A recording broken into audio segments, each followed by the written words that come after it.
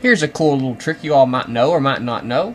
I have a model of a child's head here, and I have a blank mesh above it, so the child's head technically is in the background, and the mesh here is in the foreground. So I'm going to get my mesh that's in the foreground, and I'm going to make a square. Get my cube tool, and I'm going to draw a cube right out the size of the baby's head here, like this. And we're going to pull it forward. And I'm going to hit the space bar and drop my tool. Okay, now I'm going to hit the tab key to subdivide it, and I'm going to hit the D key, I don't know, four or five times.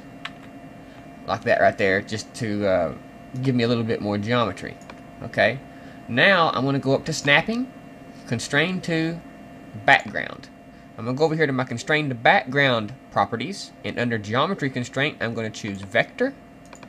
Then I'm going to hit my W key, and I'm going to push this back like this.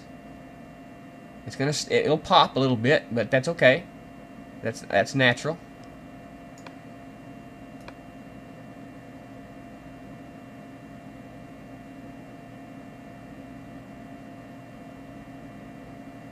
I'm going to bring it to about right there.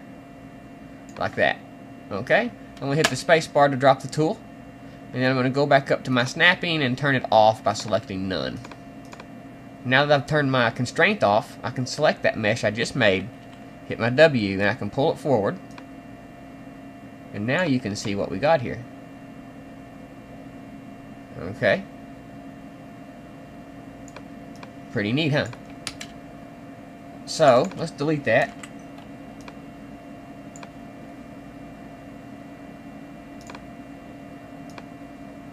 Let's do it one more time. Okay, this time I'm going to subdivide it a lot more. Give it a lot more resolution. Like that right there. Or even one more time even.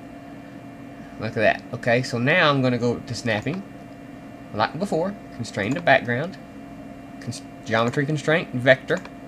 Hit the W key.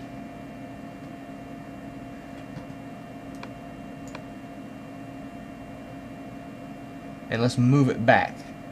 Okay?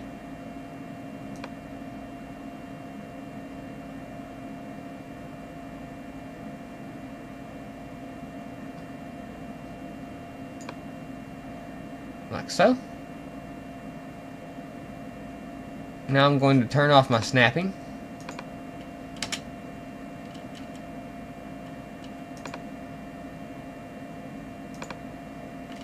And I'm going to pull that geometry forward. And as you can see, now we have an even more detailed version because I give it a lot more geometry. I mean, of course the nose is a little messed up and stuff, but I think you guys see the point here.